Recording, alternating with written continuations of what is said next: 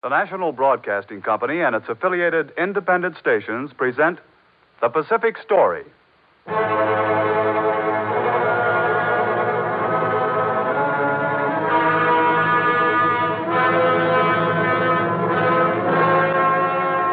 This is the story of the Pacific, the drama of the millions of people who live around this greatest sea, where the United States is now committed to a long term policy of securing the peace. This is the background story of the events in the Pacific and their meaning to us and to the generations to come.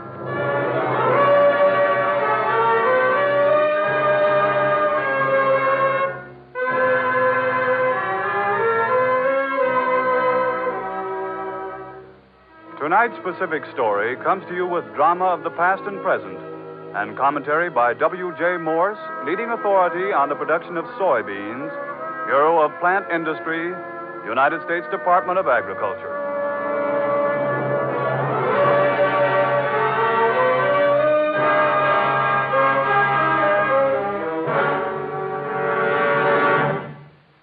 The milk and meat of the Far East.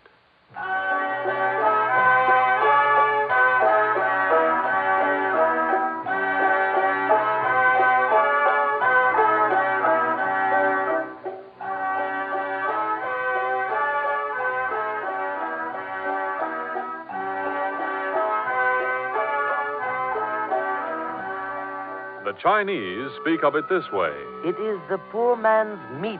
It is the cow of China. It is meat without bones. the Japanese speak of it this way. If we could have held Manchuria, it would have guaranteed that Japan could never be starved out. American nutritionists speak of it this way. It is high in protein. It is rich in vitamins in A, B1, C, G, and E, and also in the blood clotting vitamin K. And this way. It contains several times as much B1 as beefsteak. And as for minerals, One half cup of the flour contains as much calcium as a whole cup of milk. And one half cup of the flour contains as much phosphorus as two cups of milk. And weight for weight, it contains as much iron as liver, twice as much iron as molasses, and three times as much iron as whole wheat flour.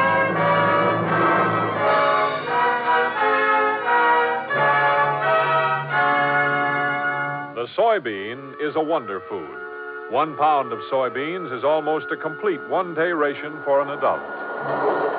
Here, taste this. Yes. You recognize the flavor? Uh, how much of it is soybean? 50%. Mm-hmm. The rest of it is split peas, wheat flour, a little peanut meal, a little onion, some salt, and a little fish oil. And uh, how much of this mixture are you preparing here? Four million pounds of this preparation, and 12 million pounds of other soybean mixtures. 16 million pounds. Yes, and all of it is going to the famine areas of China. Soybeans for China. Soybeans for the land where soybeans have been a mainstay for 5,000 years. For science has found no more versatile plant than the soybean. Today, 12% of the world's supply of soybeans are grown in the United States, and 84% come from Manchuria, China, Korea, and Japan. But most of the world's output comes from Manchuria. Long ago, the Japanese recognized the value of soybeans. Soybeans grow well where the temperature is relatively high, Or what uh, rainfall do they require? or they will do well if the rainfall is moderate. And in Manchuria, in some parts, the rainfall is plentiful. What uh, parts are you thinking of? The valleys of the Liao and the Sungari. What are the rest of Manchuria? Or they will grow in other areas too. Soybeans can grow in soil that is not good. Actually, they make the soil better. They take nitrogen from the air and put it into the soil. But they must have water. Or some, yes. But they have great resistance to drought and even to insect infestation. Hmm. You will uh, prepare a chart. Show where plantings can be made. Give me an estimate of what will be required for the plantings. Yes, sir. Yes. The Japanese had made a good start in the development of soybeans in Manchuria. Manchuria was not their country, but by use of the South Manchuria Railroad, which they controlled, they extended their influence not only into the mining and industry, but also the agriculture of Manchuria.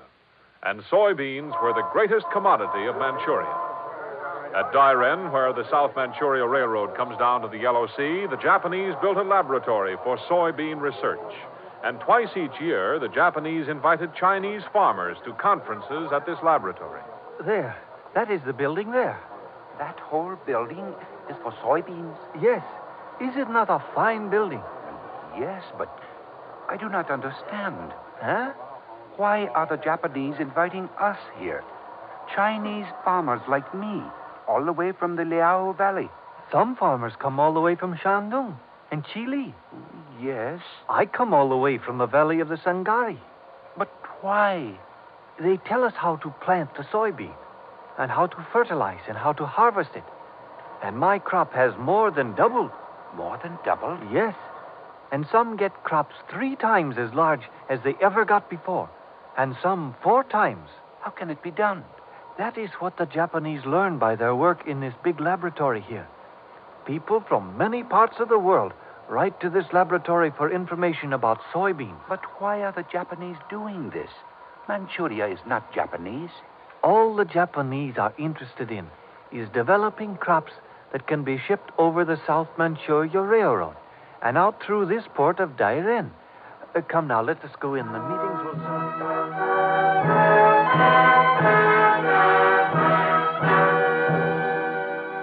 In the central laboratory at Dairen, the assiduous Japanese studied the wonder bean with test tubes and microscopes, studied the soil it grew in, studied fertilizers and irrigation.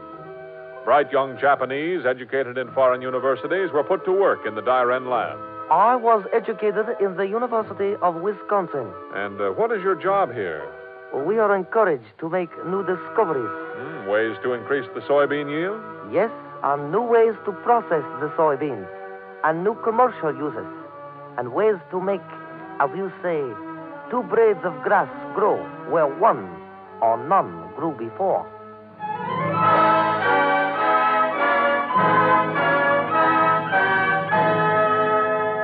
Outside the great port city of Dairen, the Japanese set up an agricultural experiment station.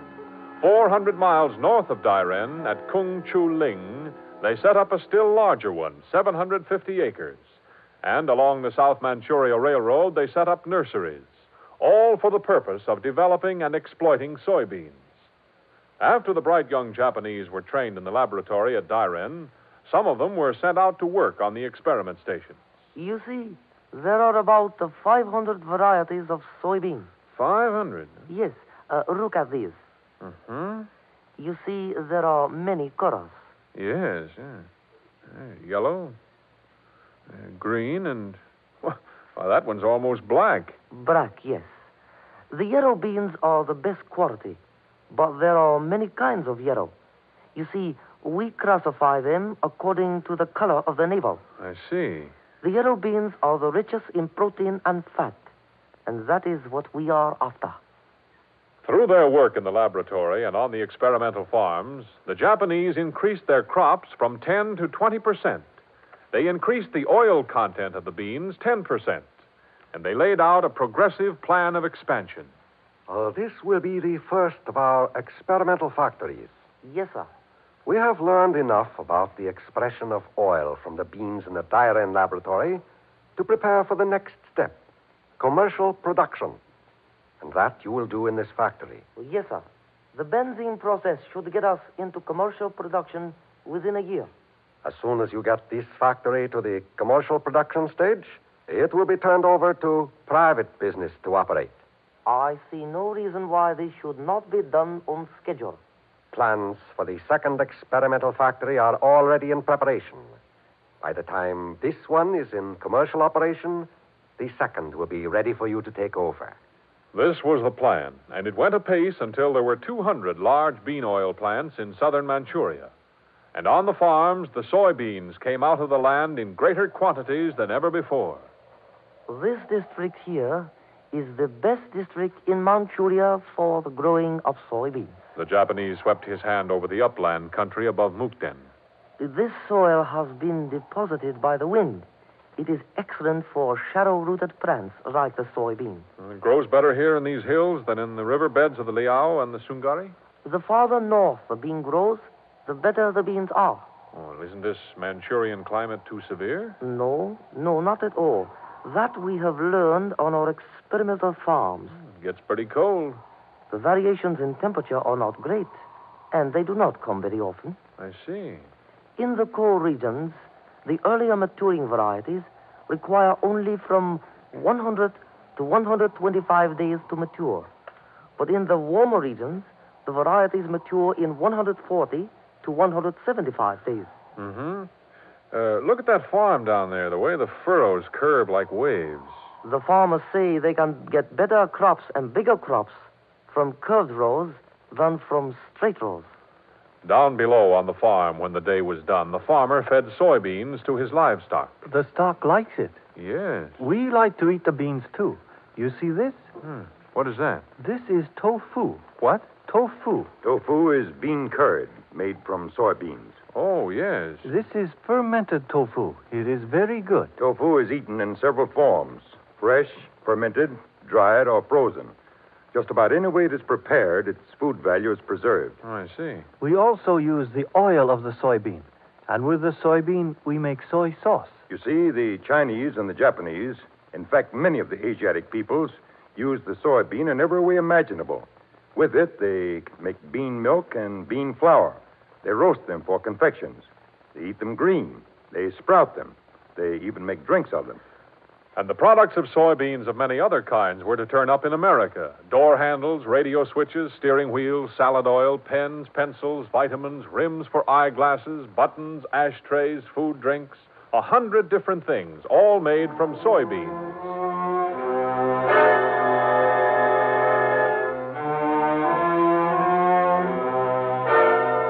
Dairen became the great center of the soybean industry.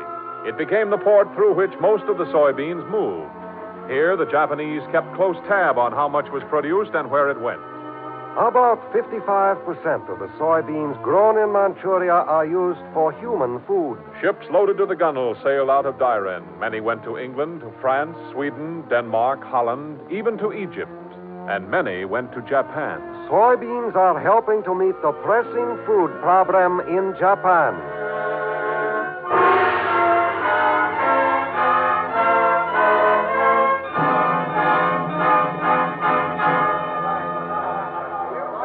This will give you an idea. The great wharves of Dairen were piled up as far as the eye could see with bags of soybeans, with bean cake, and with soybean products. You see, 60% of the entire Manchurian export trade is soybeans. Trains of the South Manchuria line brought in the soybeans by the thousands of tons and piled them from 12 to 15 feet high on the wharves. The Japanese have developed here and at the other important points on the South Manchuria what they call the mixed storage system transport, storage, and economy. Workmen were busy unloading the trains, piling some of the bean products up for storage and transferring much of it directly into ships at the wharves for export. You see, it's all tied together the growing of the bean, the processing, the transportation, and the export. The economy of Manchuria is being developed for the benefit of Japan.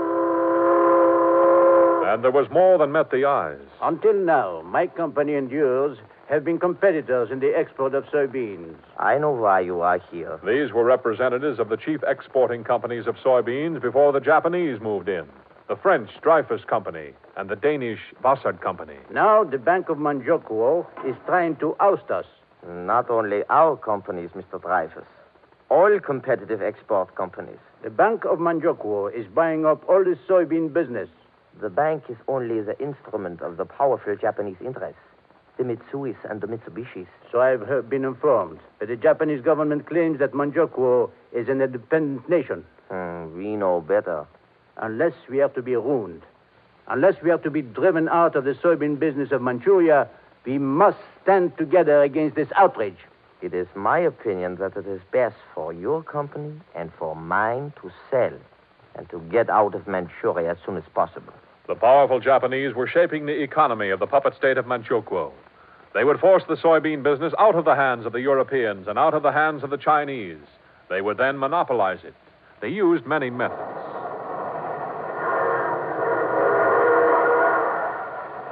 They speak of railroads, but what they actually mean is the South Manchuria Railroad, with its terminus at Dairen. There is also the Chinese Eastern Railroad, which was built by the Russians and which crosses Manchuria from the northwest down to the southeast. The Chinese Eastern has its terminus at Vladivostok. These two railroads are in competition for the soybean business, each trying to direct the flow of cargoes to its own export. We ship all our soybeans over the South Manchuria line, out through Dairen. Well, you're actually a good deal closer to the Chinese Eastern. The rates of the Chinese Eastern are higher, But you saved the transportation from your plants to the railroad. but the South Manchuria gives us a rebate. With these conditions, neither the Chinese Eastern nor the European exporting companies could compete. The soybean business of Manchuria went into the hands of the Japanese, more specifically, into the hands of the powerful Japanese private interests.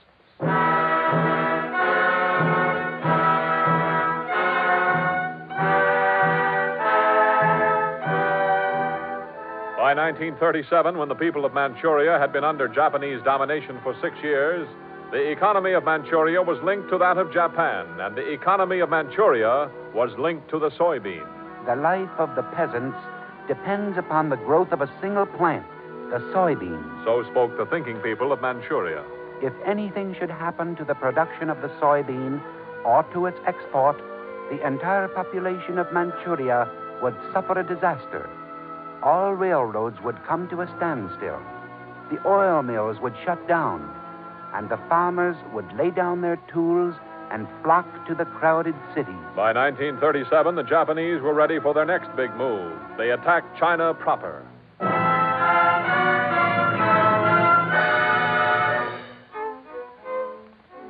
This means that the Japanese have now developed Manchuria to a stage satisfactory to supply their troops on the mainland, as well as their civilians at home. By 1941, Manchuria was yielding some 4 million tons of soybeans. The Japanese controlled every pound of it. And by 1941, they had fostered the growing of soybeans in Korea and also in Japan itself. Also, by this time, the Japanese had seized a good part of the soybean country of China proper. But by Pearl Harbor, the United States was also growing soybeans, over 3 million tons in 1941. By 1945, it was nearly 6 million tons. Yes, sir. All that soybeans out there. We grow more soybeans here in Illinois than any other state in the Union. Close behind Illinois and soybeans came Iowa and Indiana, Ohio and Missouri. And soybean planting spread to Arkansas and Mississippi and Louisiana, to Minnesota, Wisconsin, and Michigan, to North Carolina, Virginia, Delaware, and Maryland. At Urbana, Illinois, and at Beltsville, Maryland, the United States Department of Agriculture has experimented with soybeans. The department's research on this crop has been going on since about 1900. In Dearborn, Michigan, the Ford Motor Company established a soybean laboratory. But in Manchuria, the Japanese closed the door to the outside world, and only secret reports came out. Batwing Chinese junks loaded to the waterline with soybeans are moving in fleets out of Dairen. Some of the junks head out to sea and some Great fields at Chungchun are piled with bags of soybeans. Tractors and trucks moving in the narrow alleys between the piles are lost from sight. The piles are so high, and more soybeans are coming in. The Japanese have stepped up the production of soybeans. Now both the Chinese Eastern and the South Manchuria railroads are hauling the beans, and it seems that The powerful Japanese private interests controlled the humble soybean of Manchuria, controlled its exports. But now Japan was at war, and there were no exports to England and Holland, to Denmark and France and Egypt. Manchuria's soybeans went to her troops in the field and to her people at home. We could have no better food. Bean curd has a caloric value twice that of beef, and its waste products have less tendency to poison the system and cause fatigue.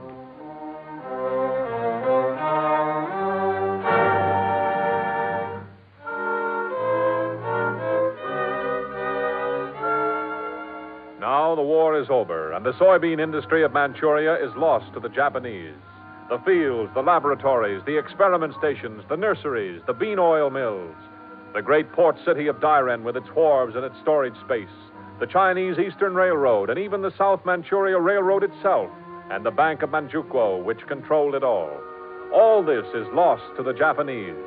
And if the people of Japan depend on the soybeans of Manchuria, they must import them. But this may not be easy.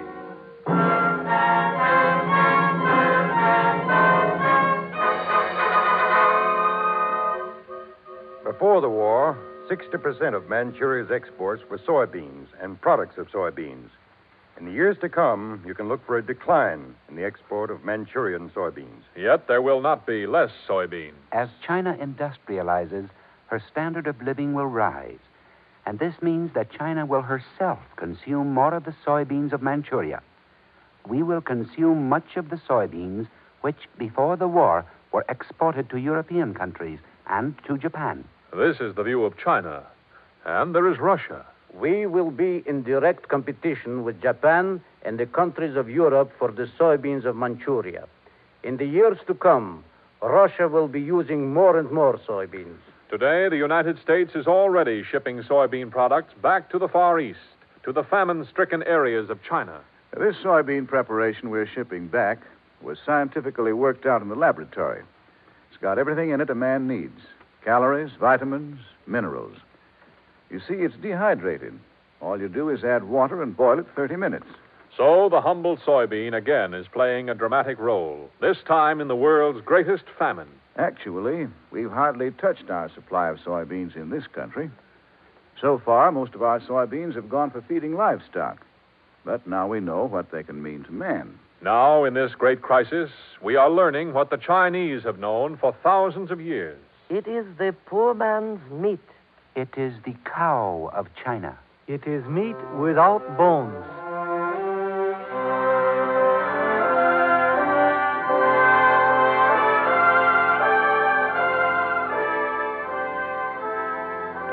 From our fields, from Illinois and Iowa and Indiana and Ohio and Missouri, from the Delta states, from the Middle Atlantic states, from the Dakotas and Minnesota and Wisconsin, our soybeans are going back to the lands whence they came to help feed the millions whose ancestors, all the days of their lives, tilled the soybean and lived on its good food.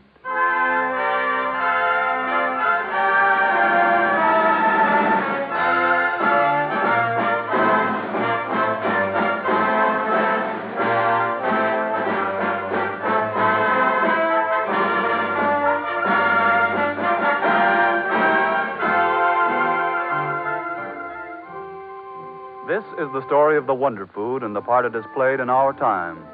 To tell you the significance of the development of the soybean, the National Broadcasting Company presents W.J. Morse of the Bureau of Plant Industry of the United States Department of Agriculture at Beltsville, Maryland. The next voice you hear will be that of Mr. Morse. We take you now to Washington.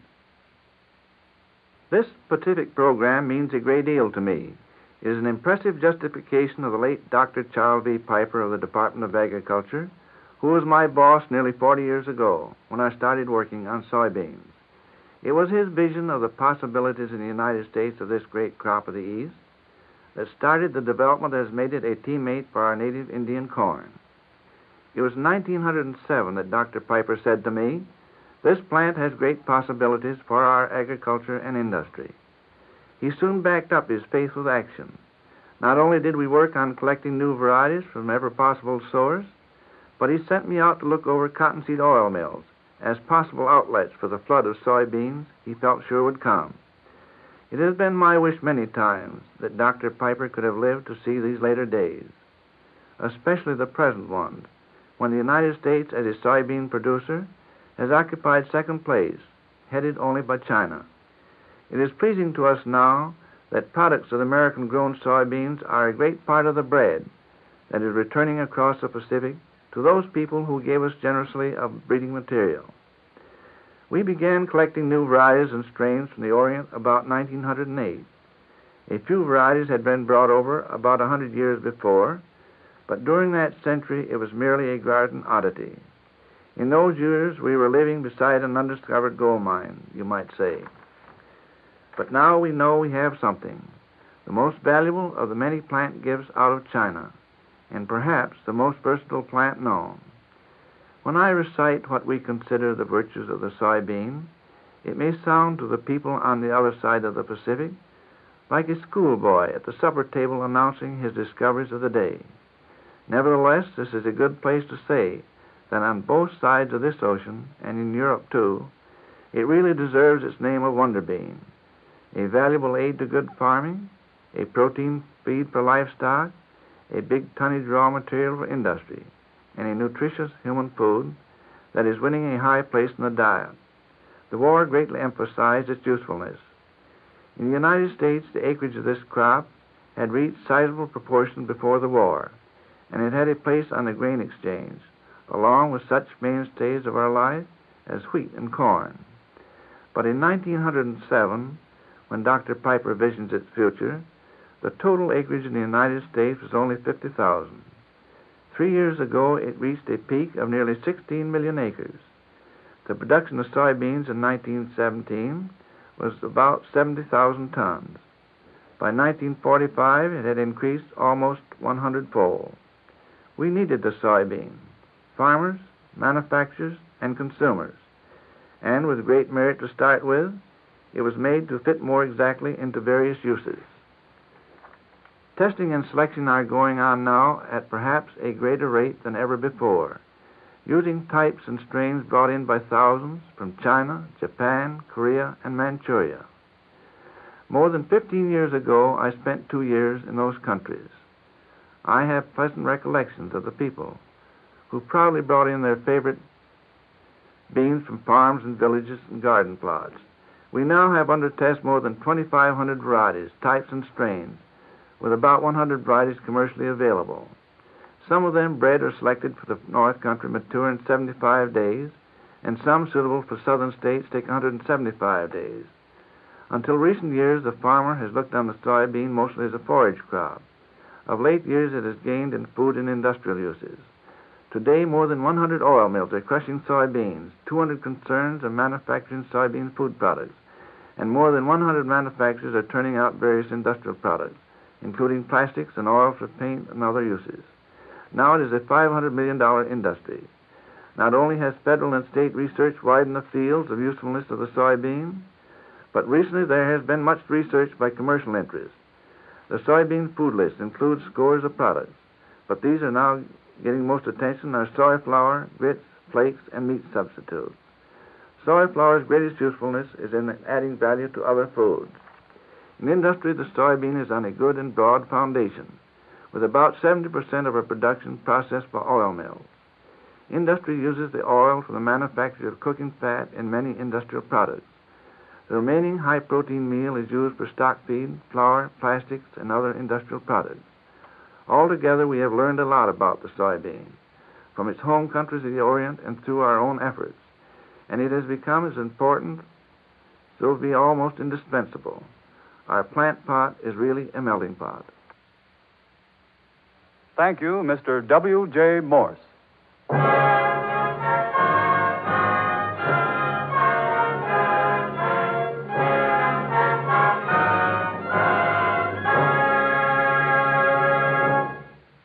Listening to the Pacific Story, presented by the National Broadcasting Company and its affiliated independent stations, to clarify events in the Pacific and to make understandable the cross currents of life in the Pacific Basin.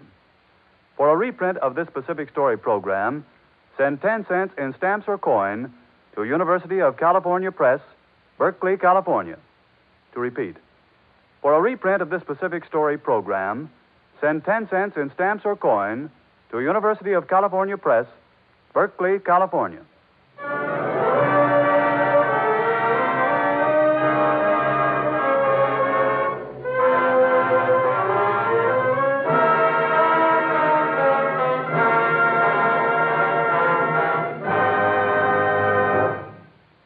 The Pacific Story is written and directed by Arnold Marquis. The original musical score was composed and conducted by Thomas Peluso. Your narrator Art Gilmore. Programs in this series of particular interest to servicemen and women are broadcast overseas through the worldwide facilities of the Armed Forces Radio Service. This program came to you from Hollywood. This is NBC, the national broadcasting company.